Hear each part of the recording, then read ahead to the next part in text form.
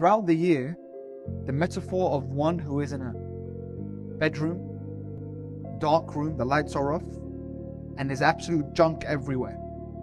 Pizza boxes empty, Coca Cola cans on the floor. Very disgusting floor and disgusting room, and there's a stench. And then you wake up, you turn the light on, and you see everything in the room, and you feel overwhelmed. And what you tell yourself is, I'm so dirty, I'm so annoying, I'm so lazy, I'm so, I'm this, I'm that. But then you don't get up to clean. You just turn the lights back off and you go to sleep. A lot of us, we feel bad when we start to contaminate ourselves and we call ourselves names. And yeah, I should do better. And yeah, I know maybe one day Allah will guide me. But we don't actually get up and start cleaning. We're too scared.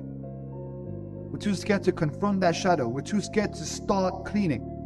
Or make fun of ourselves and think that that makes us maybe feel better or it's honorable. The honorable thing to do is to get up, put the light on, and start to clean. Maybe get out the room. Shahr Ramadan is an invitation to start to clean your room and start to clean your soul.